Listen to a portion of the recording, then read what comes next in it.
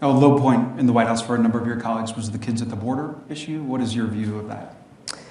Yes, um, that was a low point for me as well. I, I feel very strongly about that. And, um, and I am very vehemently against family separation um, and the separation of parents and children. So um, I would agree with that sentiment. I think immigration is incredibly complex